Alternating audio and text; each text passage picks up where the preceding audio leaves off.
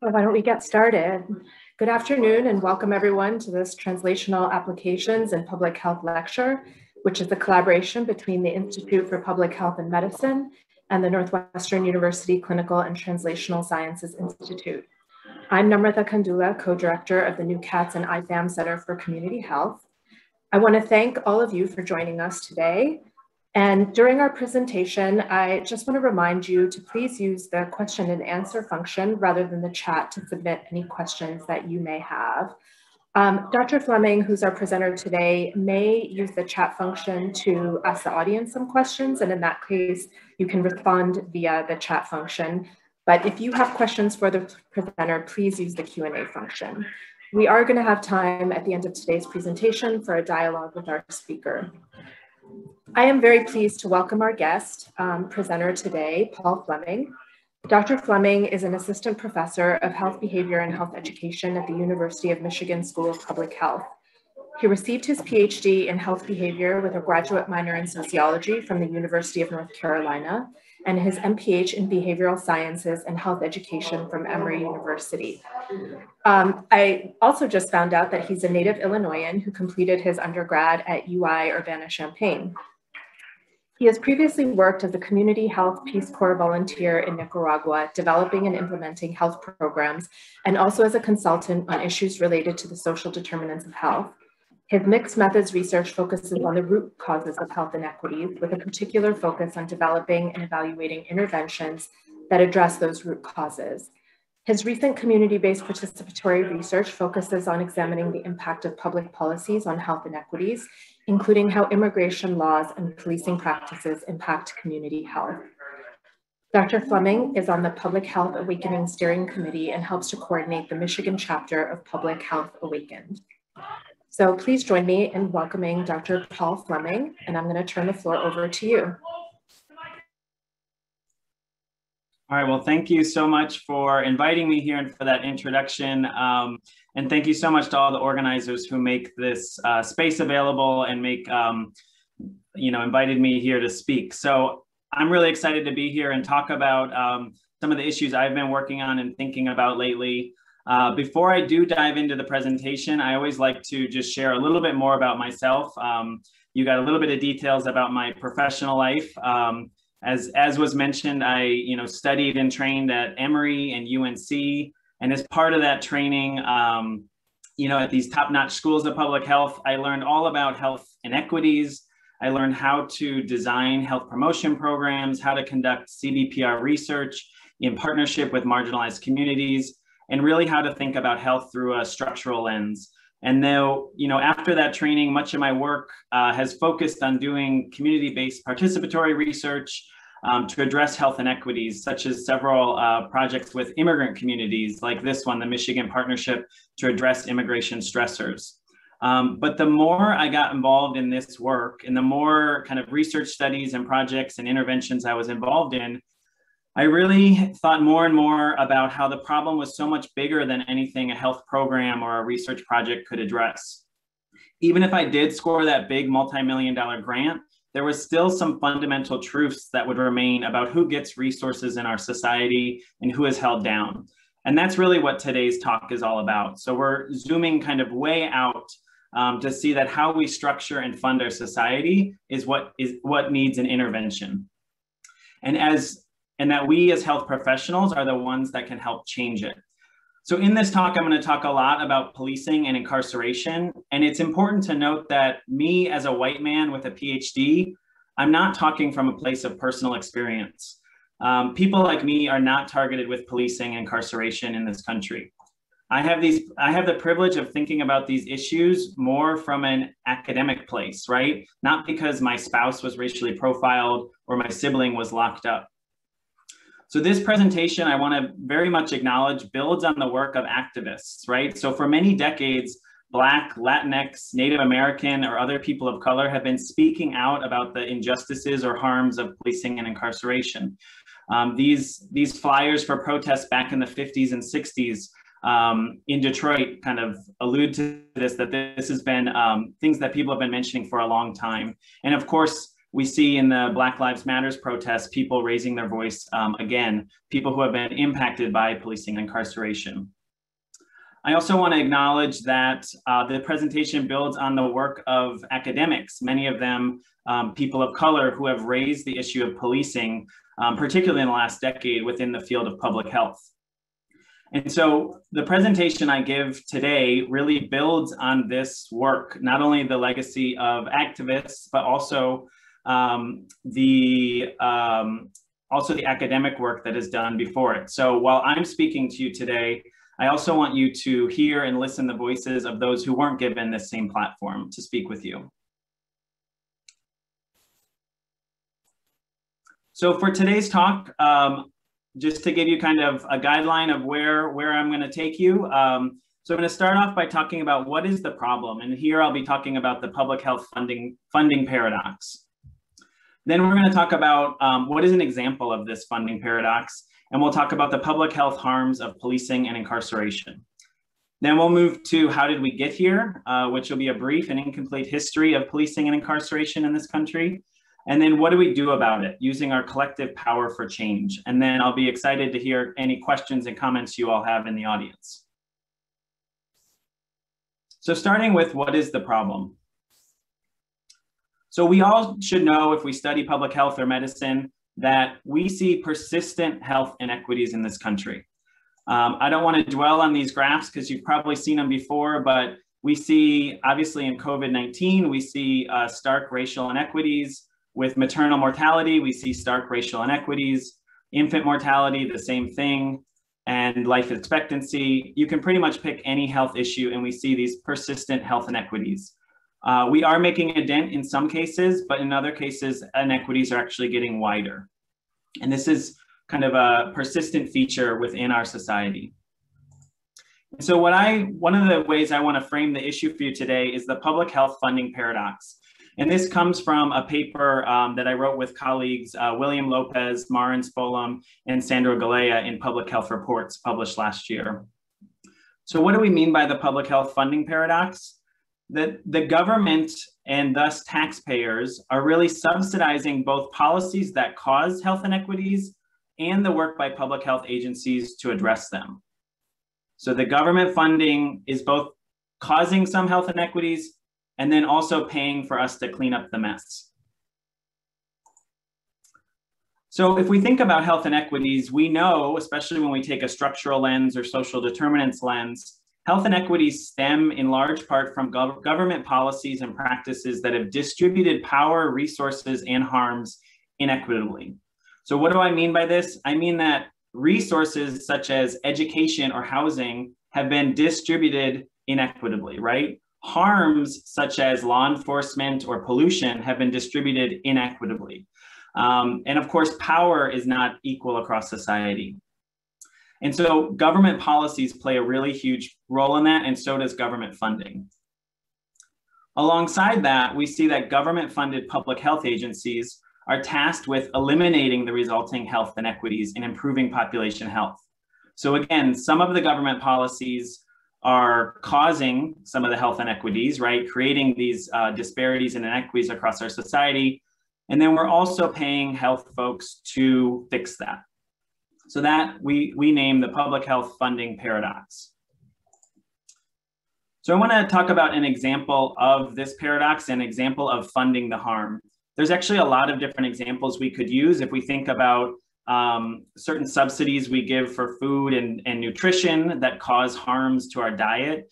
Um, we think about climate change and the way um, you know polluters are. Uh, we we subsidize and support polluters in certain communities. So those are some examples. But in today's talk, I'm really going to zero in on policing and incarceration as an as a prime example of a way that our government spends a lot of money on things that we know as health researchers we know that it harms health. So this example, um, we spend $181 billion per year on policing, prisons, jails, parole, and probation. And if you're anything like me, you know, when we get into the billions, it's hard for me to contextualize it. So I wanna give you some comparison points. So again, we spend 181 billion per year on policing, prisons, jails, parole, and probation. If we look at the federal Department of Health and Human Services, of which the NIH and the CDC is a part of, so it's a part of this budget, the discretionary budget is 87 billion per year. So less than half of what we spend on policing prisons and jails. We can also look to the Department of Housing and Urban Development. So another agency that we know addresses issues like social determinants of health, of housing. Um, their budget is 48 billion per year. Another key social determinant of health education, if we look at the Department of Education federally, their budget is 64 billion per year. So when we talk about the paradox, we're in large part talking about the fact that we are spending so much money on these systems, right? And we are oftentimes underfunding these other systems that we know promote health. So the question of does do these policing and prisons and jail systems harm health? And we know from the news that we get bombarded with, uh, it seems almost daily, that there are many people that are being harmed by policing and incarceration, right? Um, we see examples of people, right, who are killed, taken away from their families, um, incarcerated for uh, decades. And so we see this in the news daily, right, or, or um, more often than, than any of us would like. And if we look to the public health research, the public health research is really starting to document the harms as well. So if we think about the public health impact of policing, in terms of the direct harms caused by police, that there are over a thousand people per year that are killed by police. In addition, there's over 50,000 young people that are known to be injured by police every single year. And that puts it about on par with young people who are injured in pedestrian accidents. So this is, quite frankly, a public health issue. People are being, uh, people are dying and people are being harmed. And so that kind of puts it squarely in the place of public health. But it's not just those people who are affected, uh, people who are killed or people who are injured. It has many spillover effects. So we see that hypervigilance, what I mean by that is people who uh, are in communities who experience heavy policing uh, practice hypervigilance, and that can cause mental and physical health problems. It has an impact on family and community cohesion, right? Because these are having an impact on families and how they live their life. And it's ultimately because the police is a government institution um, and directed by policymakers in the ways that it practices its policing, it really prompts mistrust in policing government. And we need to reflect now as we're seeing some vaccine hesitancy that has a lot of mistrust in government that police violence and the way police operates in our communities is in fact a source of some of that mistrust. We also need to think about inequities, right? I started this talk talking about inequities in our communities. So if we look at um, lifetime risk of being killed by the police, and this is as compared to uh, white people, we see that um, Black men and Black women are uh, almost twice or 2.5 times more likely than white people to be killed by police in their lifetime. And we also see a dis disproportionate impact on uh, American Indians and Latinx folks. One in 33,000 women in the US will be killed by police, and for Black women, they're 1.4 times more likely, and American Indian women 1.6 times more likely. Transgender folks are also disproportionately impacted. They're seven times more likely than cisgender folks to experience physical police violence. And the people who are most often uh, killed by police are men. So if we look at who will be killed by police in their lifetime, one in 1,000 Black men and boys will be killed in their lifetime by police. That's a staggering figure, and if, if you stop and think about it. We also see, for any of these numbers, it's a staggering figure, frankly. Um, one in about 1,800 American Indian men and boys, one in about 1,800 Latinx men and boys, one in 2,700 white men and boys, and one in 6,200 um, Asian or Pacific Islander men and boys. So those are people who have died at the hands of police in our in our communities. And for young black men, that's the sixth leading cause of death, being killed by police. So again, with these numbers, uh, seeing the harms in communities, this is very much a public health issue. So policing um, often leads to incarceration, right? If, uh, if a community is policed, then there often leads to arrests, often leads to indictments, and often leads to incarceration. So what about the harms of incarceration? So we, we know from some research that um, for every year that a person is incarcerated, their life expectancy decreases by about two years. So if you have a five-year sentence, your life, you can expect that your life expectancy decreases by 10 years. Over the course of COVID-19, we saw that case rates were four to five times higher in jails and prisons than in the general population. And so there was a disproportionate impact. Similar to policing, prison has uh, many spillover effects. So um, just as an example of this, young adults who have had a father who is incarcerated were more likely than young, young adults without an incarcerated father to have a range of health issues. So high cholesterol, asthma, migraine, depression, PTSD, or anxiety. Um, and so if you think about, if any of you are researchers in this area, um, having an incarcerated family member is in fact a risk factor for some of the issues that you may study or you may focus on. So again, it's part of the health equation and part of health inequities.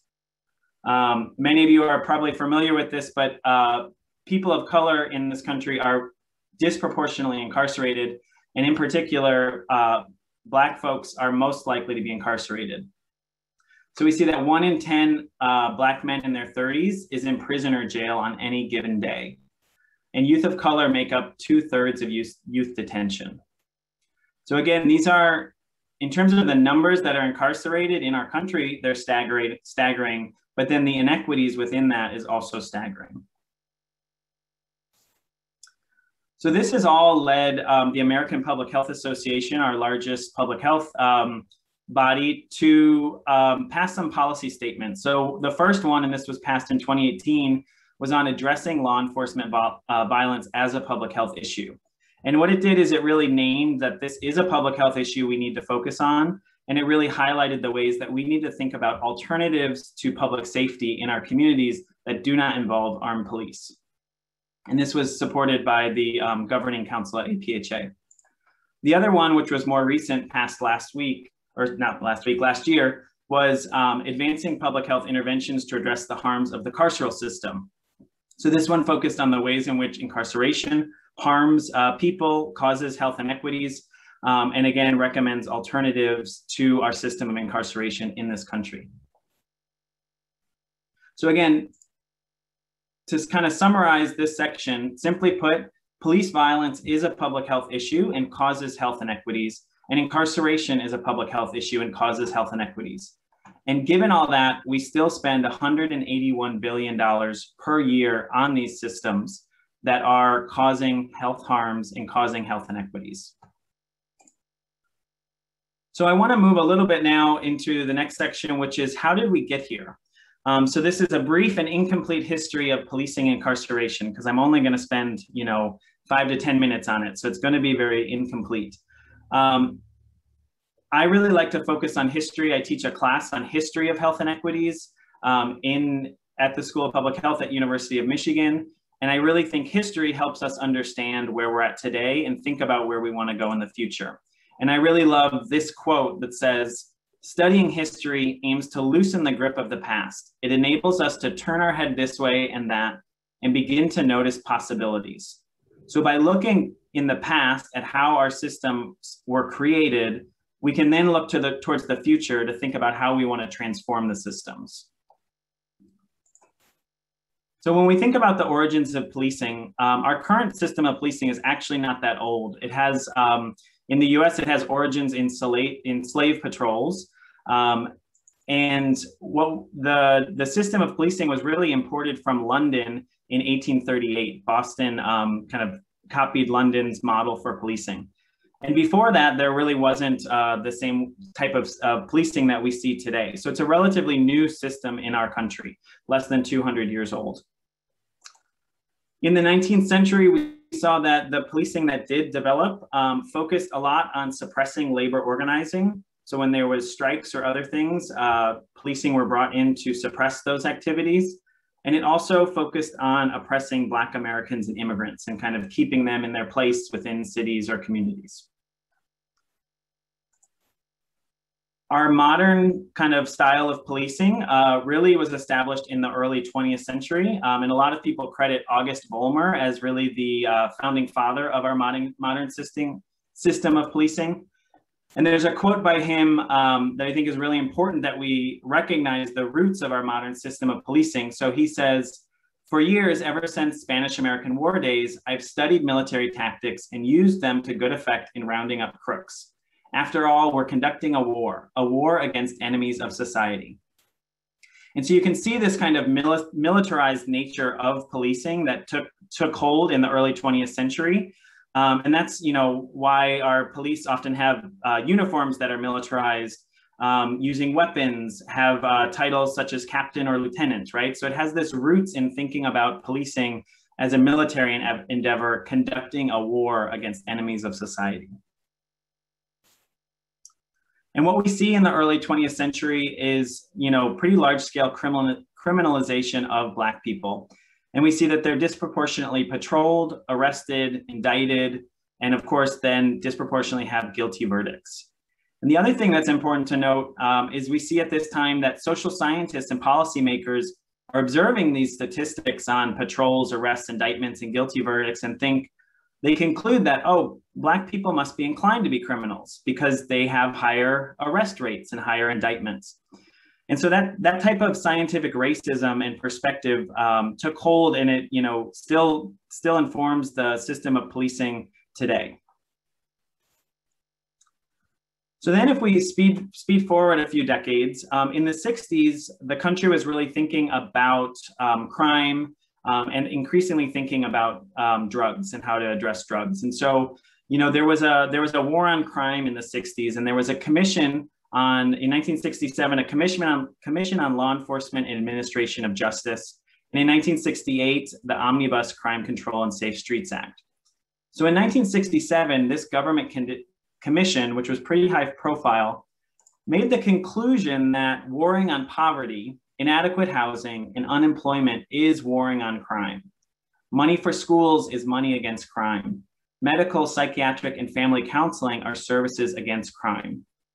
So basically, what they were saying is if we want to have a war on crime, we should be funding anti poverty programs, we should be funding housing, we should be funding uh, medical services, right? So that was the conclusion of this report. But unfortunately, the very next year, we see that Congress um, and the president pass this Crime Control Act, and it actually shifted resources for addressing social problems to the police.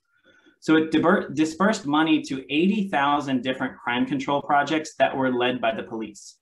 So this is a moment in time where we could imagine that what if the what if instead they made a decision to fund community organizations or to fund medical services or to fund um, housing programs, right? But instead they funded the police to address these social issues.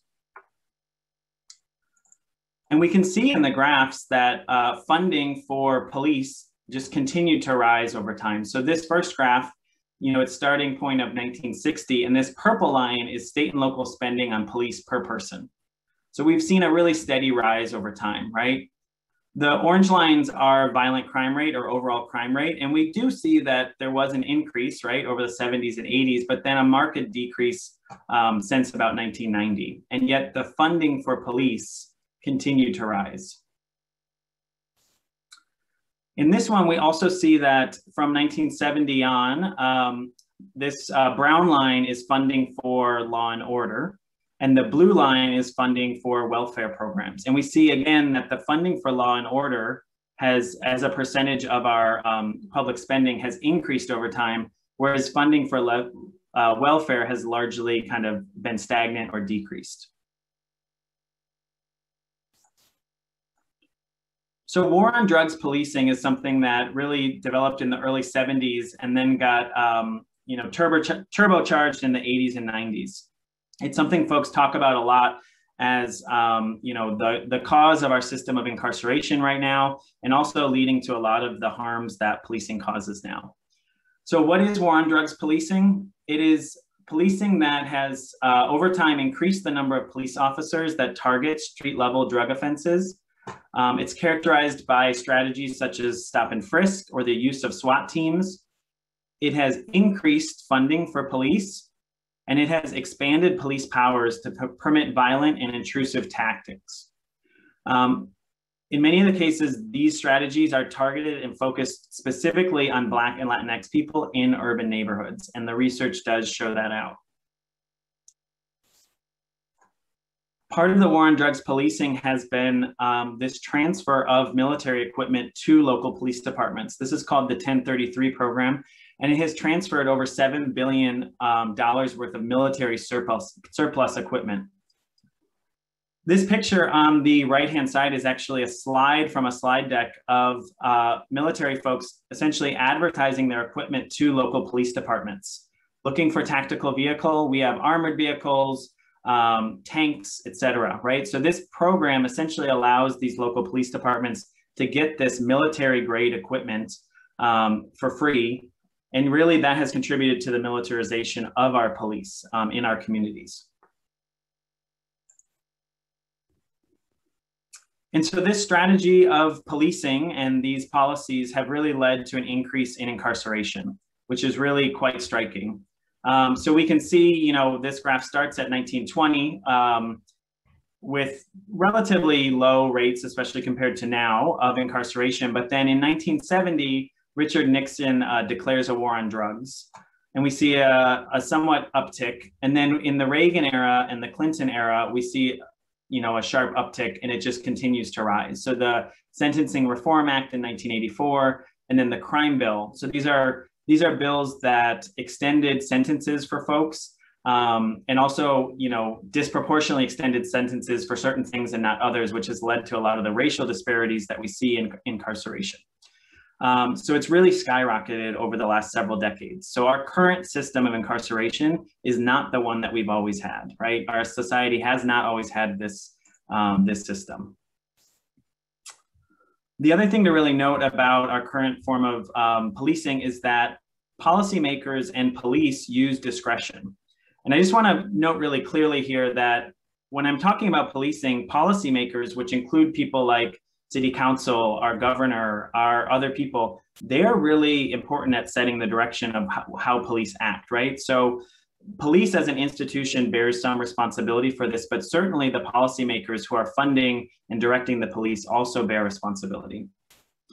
And so po policymakers and police um, think about policing using discretion, right? So they determine which neighborhoods they'll target. So are they targeting more black, black and Latinx neighborhoods or white neighborhoods?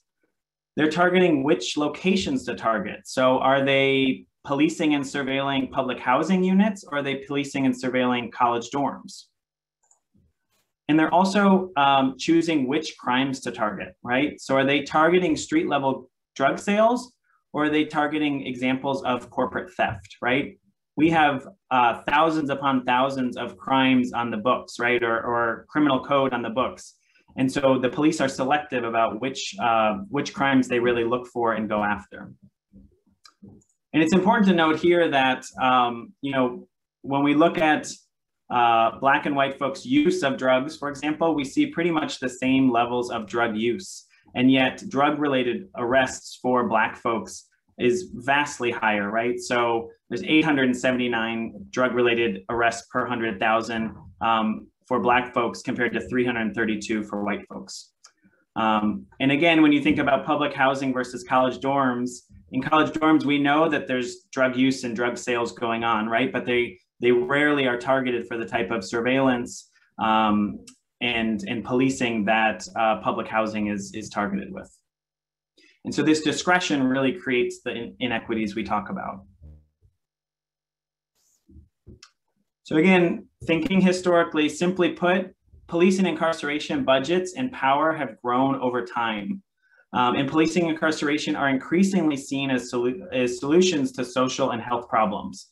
Um, so we are, we are increasingly having the police deal with the issue of homelessness, deal with the issue of mental illness, and deal with other social ills, right? Um, and again, we are spending $181 billion per year on this. So now to the part uh, where we can we can think about what do we want to do about it? How do we use our collective power for change? This is a monumental big task, um, but we have to start somewhere. And of course, many people have already uh, started and put decades of work into this. So how can public health and medicine help undo the funding paradox? Um, one of the ways I think about it is um, kind of in a, in a very professional role, we can think about restructuring, we can think about collaborating, and we can think about mobilizing. So in terms of restructuring, we, we first need to look in our own house, look internally at public health institutions, uh, academic public health, government agencies for public health, and we need to really rethink and restructure how we focus on health issues, right? So if we look at the NIH, for example, they are structured around disease categories. They're not structured around issues like institutional racism, right? Um, so what if we had a National Institute of Racism rather than having a National Institute of Mental Health, right? If we focused more so on these foundational drivers of health issues. The second thing is that we need to really enhance collaborations between the health sector and other government agencies that are responsible for things like housing, education, and public safety. So public, public health should be vocal about the fact that law enforcement or public, the way we think about public safety currently is not working for the health of our communities. It is very much a, a public health issue. This is a, this is a concept um, that a lot of people talk about as health in all policies, and it's a really important step that we all take. And then finally, we need to be mobilizing as public as public health professionals or uh, medicine professionals and otherwise to advocate for policies that support health. I mean, that's what I'm going to talk a little bit more about is how we mobilize. So first off, kind of as a as an internal thing with ourselves, we really need imagination for this, right? So again, I, I zoomed out and, and thought about our kind of I've talked about our societal level budgets, funding, how we think about public safety. And if we want to shift these systems, we really need imagination. So we need to think about what would a transformed society look like? What if we started from scratch? What, what kind of systems would we create? I highly doubt we would create these militarized police systems and incarceration systems if we were starting from scratch. But rather, we kind of incrementally got there over time, right? So we need to really think and have imagination about what an alternative system could look like. Um, there's a series, I don't know if, if folks have seen it, but there's a series um, that is really uh, helpful for at least thinking about uh, reimagining public safety, right? So it kind of gives you examples, and I'll just read the, the first one. Imagine someone is behaving erratically and in harm's way, and you could just text a number, and an unarmed urgent responder trained in behavioral mental health comes within five minutes right? So that is an alternative system that we could have. And in most places, we do not have that. So part of working towards this change, once we have the imagination to allow ourselves to think that we could live in a different world, is organizing, right? I'm sure I'm sure you all have seen this quote that never doubt that a small group of thoughtful, committed citizens can change the world. Indeed, it's the only thing that ever has. And what that's all about is organizing, right? So coming together, creating communication channels. Um, if somebody has an idea, having a, a team or a network to be able to bounce that idea to and take action together. And that is such important work for advocacy that we do. So I want you to think about kind of what networks you're a part of or what groups you're a part of and how you might organize or strengthen that network to be able to take certain actions in terms of taking collection action, there's a lot of different ways we can do it, right? So advocacy is not just one thing. Um, a lot of people like to think, oh, advocacy is uh, is protesting, and it is, but it's also a lot of other things. Or advocacy is a one-page policy brief, and it is, but it's also a lot of other things. Um, so there's a lot of different options you have, especially as a researcher or a public health professional, um, to engage in direct lobbying for certain programs. A lot of us um, have platforms where we can, um, you know, publish op-eds or white papers. Uh, we can meet with legislate legislators. Um, we can think about our own institutional policies. I'm guessing many people on the call have um, certain leadership in their own institution, and you can take the do the work of advocacy to shift institutional policies. When you're forming a group and thinking about the change you want to make, right, there's some key strategies you can take, right? Um, so first off, you really want to be thinking about what your purpose, goals, and desired outcomes are. Identifying targets for what, what is the specific policy you're changing or what's the specific thing you want to achieve. Um, you are developing a strategy or messaging around that, and then thinking about what tactics you use. Um, and the slide before is an example of tactics, right? In some cases, maybe a protest is the best way to get um, to work towards the change that you're looking for. In other cases, you might say the first step is to build a coalition. Or in other cases, you might say we need to form relationships with policymakers. And so you want to, depending on what your goal is, you might have different tactics.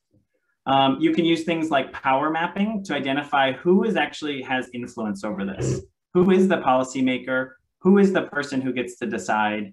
Um, and that can help you uh, target what you want to do. Um, and then finally, for true equity, many of us hold privileges because of the education we have or our other identities. But if we want true equity, we really need to center the community or populations that are most impacted. So it's not us always as health professionals leading the way, but rather asking communities who are most impacted, how can we support? How can we lift up your efforts? How can we lift up your voices and, and help the cause that you've already been working towards? So I want to just give an example and shout out to the uh, End Police Violence folks. I think this is a really great example of health professionals organizing for change that, um, that has had an impact. So I mentioned earlier in the talk about the two APHA statements about the harms of policing and the harms of incarceration. So that was a group of health professionals that came together. They collectively wrote a statement and then they built relationships and organized to help ensure that um, the larger public health community was on board with that statement and passed it as part of one of their policy recommendations. I'd encourage you to, to follow them on Twitter, um, End Pol Violence, or, or visit their website. But it's a prime example of um, a group that that had different tactics, right? So this this photo is actually a um, a protest at um, at the American Public Health Association conference in the lead up to the vote. Um, so it really kind of mobilized people to speak out and say, you know what, this really is a health issue. The other thing I want to highlight is that um, I've been involved with Public Health Awakened. For, for those of you that aren't familiar with Public Health Awakened, it is a, um, it is a national group that organizes public health professionals around issues of social or racial justice um, and health equity. And so they formed about four or five years ago, and they've been really, um, really crucial at kind of uh, building a community of public health professionals who, who can take action on issues. Um, I've also been, so I would encourage you to visit their um, website and their, um, and their Twitter handle. And I've been involved in the Public Health Awaken Michigan chapter. So there's just a few chapters across the, the country. Unfortunately, there's not a Chicago chapter yet, but um, perhaps there could be in the future. But we are a group of different public health uh, professionals within the state of Michigan. Some of us are academics, some of us are, are students, some of us work at state, uh, state and local public health or in nonprofits. And what we do is we meet every other week. Um, we have a list serve. We send out a Michigan Health Equity Digest. We have a Twitter handle. Um, so I'd encourage you to, to look into us. But some of the things that we've done over the past year, um, we've created uh, some educational materials for our, our community or our state. So this was one we created last summer on divesting from police and investing in community health Where we were able to pull together some local statistics on, um, on the issue. We also did a campaign um, around election time around public health being on the ballot. Um, so this was just one part of a social media toolkit where we um, we distributed it and then kind of encouraged public health professionals to speak up about how um, public health was really on the ballot and voting for certain types of candidates would improve public health. Um, and we also came together to write um, in a few different cases about you know root causes of, of COVID-19 disparities in Washtenaw County and really get get the word out um, about local issues. And then finally, I just want to talk about one kind of recent thing that we've gotten involved in as a chapter. And I think I think some of our chapter members are on the call. So hello to all of you. Thanks for coming. Um, and this is really a collective effort. So I'm, I'm, I'm happy to be able to share share what we're doing, but it's it's not my work. It's the group of the entire chapter. Um, but you know, in the city of Ann Arbor, they the um, the city council is considering an unarmed public safety response program um, to particularly to respond to issues of mental health crises.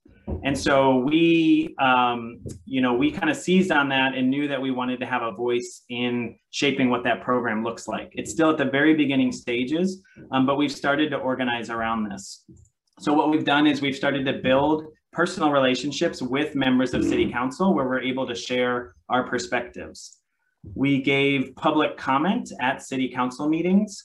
Um, so we were able to share that with uh, the audience at city council and, and obviously the decision makers.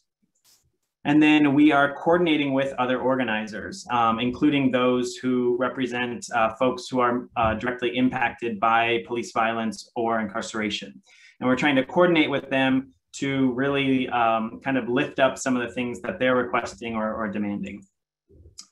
Um, and then finally, as part of uh, public health, we think it's our duty to kind of educate around this issue. So we're organizing a webinar around unarmed public safety programs across the country. They are um, kind of popping up all over the place as an example of an alternative to police um, that we can we can use within our communities that uh, doesn't you know isn't as harmful as police and actually can respond with mental health professionals.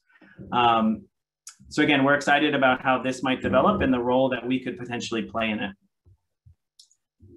So I just want to close with, um, you know, again, taking collection action is the way that we're going to be able to transform these systems, right?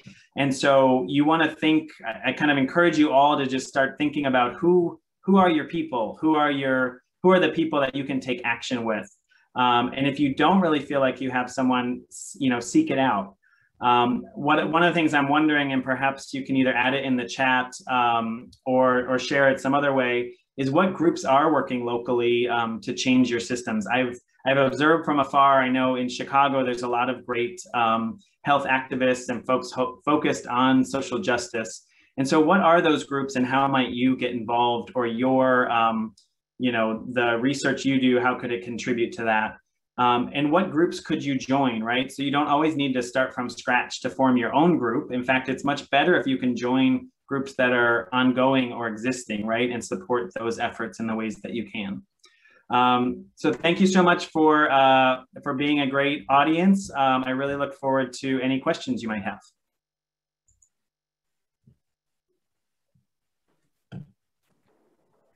Thank you so much, Paul, for this very timely talk. And um, you've given us a lot to think about, including the idea of starting our own local Chicago chapter of mm-hmm. Public Health Awakening, Awakened. So really appreciate it. I see several um, questions in the chat and I'll start with one that I think you showed a slide, but maybe we could revisit it. And the question was, is police brutality and deaths caused by police prevalently male? You mentioned stats for males, but nothing for females or other individuals on the gender spectrum. Yeah, no, thank you for the question. So I want to be very clear, and I'll I'll try to zoom back to the slide. Um, police kill uh, men, they kill women, they kill girls, they kill boys, they they kill um, non-binary folks, they kill transgender folks, and I do have some. I can get back there. Sorry. Um, hopefully, I'm not making you dizzy. So um, so about one in 33,000 women will be killed by police. It is a bit hard to find um, concrete numbers on the exact number of transgender individuals who are killed by police, but we do know that transgender uh, individuals are often targeted by police and that a high proportion of transgender folks report being harassed or um, uh, experiencing physical violence at the hands of police. So this is definitely um, an issue that affects all genders. If we do look at the numbers, um, it is disproportionately affecting men, which is um, kind of what I was highlighting here. So there are larger numbers of men that are killed, for example, than women. Um, but certainly it is, it is an issue that affects all genders. Thank you. Um, I'm going to try to see if we can answer um, what I think are two similar questions from Joe Feinglass and Pablo Dennis um, about are there examples of the types of things that we're talking about where communities are doing what we consider, um, you know, sort of addressing safety on a local level without policing and sort of good, the best practices or good practices. And then Joe followed up with, why are there no examples of different enlightened non-warrior pol policing in any US community? So I think kind of a similar question um, asked from in two different ways, like, are there no examples or are there examples? Yeah, I, I think that those are really good questions. So there are, um, there are definitely examples. Uh, so I'll start with kind of the first one about community-based programs. So there are a lot of um, community-based programs that exist within communities that are organizing, particularly communities that are heavily um, heavily policed um, and heavily impacted by police violence, where they're organizing um, organizing around around the issue. But then also there's community-based programs that are addressing um, you know issues of interpersonal violence or um, you know response programs to respond to folks um, who you know you know you might think of need police support but they don't feel comfortable calling calling the police right? Because they're worried about what might happen. So um, some of the like violence prevention programs for example there's programs like um, ceasefire or others that are more community led um, we see we also see these kind of community led unarmed um, unarmed response programs uh, in in the bay area in oakland. Um, and so those are some good examples and then, you know, I think I don't have an answer for the question about um, police departments and are there no examples. Um, and I think you certainly do see some variation across police departments. Um, you know, every municipality basically has their own police department. So you're talking about thousands of different um, thousands of different groups. Um, and certainly you're going to see variation in there. But I think um, part of at least how I see it, part of the problem is a is a lack of imagination, right? Is that we we haven't rethought in this society yet. Um, you know, collectively, some people certainly have, but we have not um, rethought what public safety is or what public safety programs could look like. And so we sort of just um, follow the model that was established long ago, um, which is this more militarized version of, of policing rather than a more community focused version. And then kind of getting at that with um, sort of thinking about policing departments and is there room for change in how they police? There's a question about how do police and law enforcement trainings play a role in adding to the paradox? Do they have training to address implicit bias? Um, and I think that's an interesting question. You know, are those types of things helpful or do they just add to this paradox that you've described? Yeah, I think it's a really great question. So um, we do see oftentimes in response to instances of police violence that one of the kind of knee-jerk re reaction from policymakers is and and and from the police as well give us um, give us money for training which ultimately results in an increased budget for the police right? So it does contribute to this paradox where that number the amount of money our cities are spending on police grows. Um, in terms of training um, that training can look a lot of different ways, right? And it's been used in a lot of different ways. But I will say that, you know, many of the police departments that have been involved in high profile police shootings lately have been previously labeled as exemplars of police and exemplars of having had received all the trainings that um, on implicit bias and other things. And so I guess just the point I want to make is that even among um, police departments that have received all the different trainings that um, folks say are important to reduce police violence, they are still um, they're still committing these harms, and that's because our policing system is set up in a way to create these harms. So again, I like to draw the attention away from kind of individual officers and more so thinking about what is this system of public safety that we have created and it is inevitably going to lead to those harms um, because that's how we've created it and it has its roots in that in that in that harm. It has roots in patrolling certain groups within a community and not patrolling others. And so if we really want to think about public safety where all people in a society feel safe and not just um, white people or, or, wealthy folks, then we need to create a, a system of public safety that addresses that. But our current system is really not designed in that way. And so even with certain types of training, it's not going to fundamentally change how um, how these how these harms are created and happen.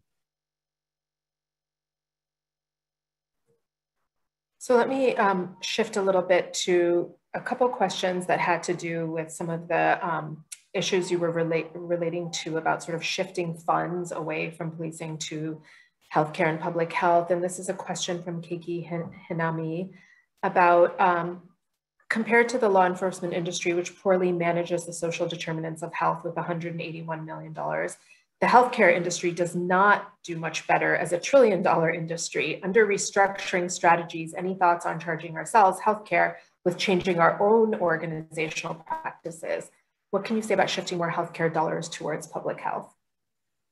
Yeah, thanks for that question. I think it's um, it's a really important framing. And I actually, in some ways, I think of our current healthcare spending.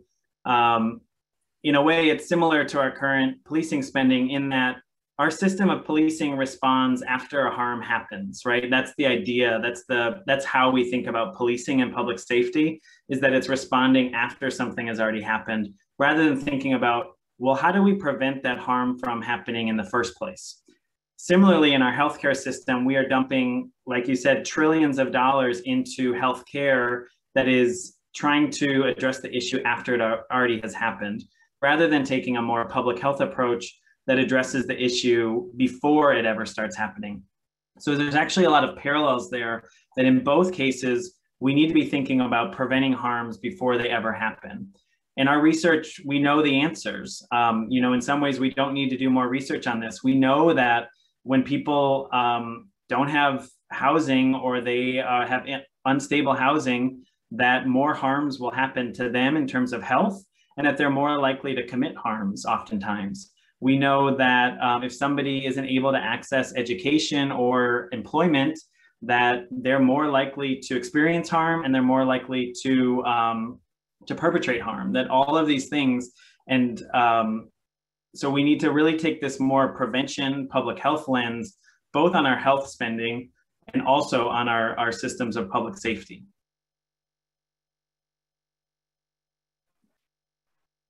And to continue along these lines of kind of economic costs and, um, you know, persuading uh, governments to change how they're spending their money, this is a question from Michael Shapiro. Has your Public Health Awakened organization looked at the cost of better education access and improved health equity as compared to the cost of incarceration as a way to persuade communities and states to modify how we spend our public funds? Yeah, that's a good question. I, I can't think of specific examples, although, um, you know, Public Health Awakened operates kind of as a network. So there's certainly things um, that people have done and are doing and sharing that I'm not always attuned to. Um, I know that one one area of focus has been on um, you know policing within schools. So uh, thinking about uh, you know school resource officers um, and how spending for education has actually been diverted into those types of systems rather than put into education programs. So that is one area um, that I know Public Health Awakened and then Human Impact Partners, who um, is the kind of the the group that they're under um, have put out some resources on. But I think it's a really good good question of thinking about education um, as well. So thanks for raising that. And maybe a contribution that we as public health professionals and health economists could make in terms yeah. of uh, providing evidence to support some of this work. Um, and then I think uh, a, a, last question, perhaps, which is often on my mind and happens with conversations with friends and family. So I've noticed a lot of, from Holly Duremo, I've noticed a lot of individuals who are not educated on the harms of policing make bad faith arguments, like if we defund the police, who will show up when my house is robbed?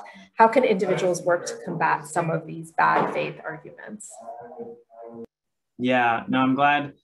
Um, and I'm sorry, again, I'm giving you guys whiplash going through the slides, but I wanted to um, I wanted to bring up these again because I think it's really uh, helpful and related.